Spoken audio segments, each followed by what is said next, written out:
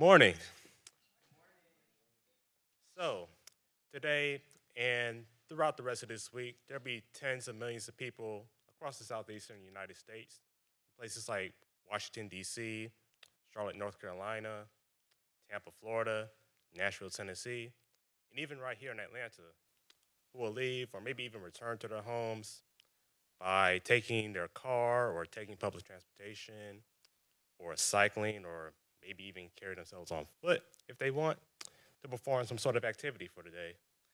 And these activities can range from topping off their electric vehicles, whether they're at work or going to the Beltline or going to their favorite place to shop, or simply heating and cooling our offices when we're in a shared environment, or maybe even installing the solar panel, or if we're out and about at night, going to our favorite sporting event or a concert all the pyrotechnics to give us an exhilarating experience that use a bunch of they use a bunch of energy.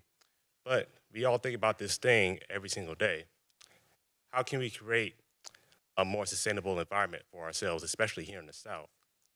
Now, I'm not sure about anyone else, but I always think back to that 1995 Source Awards from Andre 3000, the Atlanta legend. The South got something to say. And I think we have something to say about what we want our sustainable development to look like five years from now, 10 years from now, 20 years from now.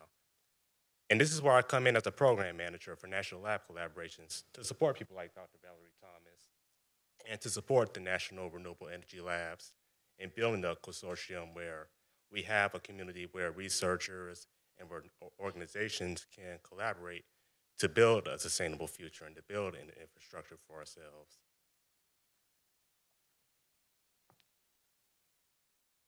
And today and in the next few days, you will be hearing some of what the South has to say. Um, I especially want to give a shout out to Beril Toktay, Bill Drummond, Marilyn Brown, Georgia Drawdown, and also to Oak Ridge National Lab, which has really stepped up to work with us and have a southern view to what our sustainable solutions uh, will be. I also want to mention Roderick Jackson. He's a program manager at NREL, National Renewable Energy Laboratory, which is in Colorado, but Roderick is a Georgia Tech PhD grad, and he's also from Mississippi, and he is working strongly with us.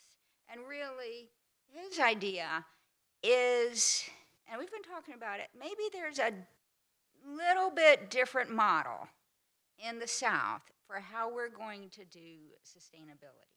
It's not just that we're going to do it, but it might be something that other regions, other places can look at. I am not giving you answers today. We are not giving you answers today. Roderick says, no, we want to ask people, what do you think?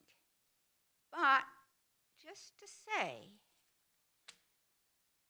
you know, if you look at what's going on in the South, manufacturing is a really strong portion of how we're doing sustainability, really caring about jobs. Uh, we have people, uh, a long line of people like Ray C. Anderson in the South. I will even, I'm just going to whisper this. Brian Kemp.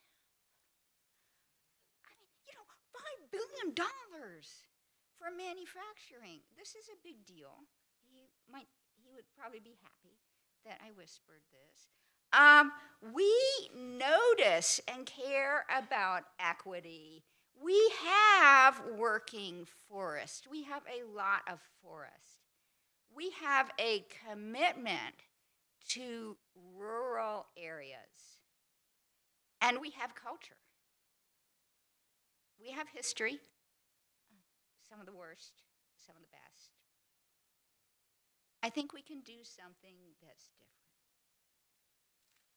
Absolutely. And if you're interested in being a part of that difference, we ask that you consider becoming a part of our community, whether you're a researcher, whether you're a nonprofit organization worker, whether you're an entrepreneur, or just simply an advocate.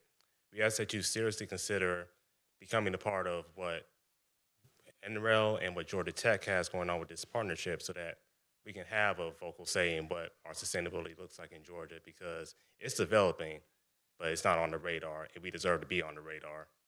So that being said, thank you so much.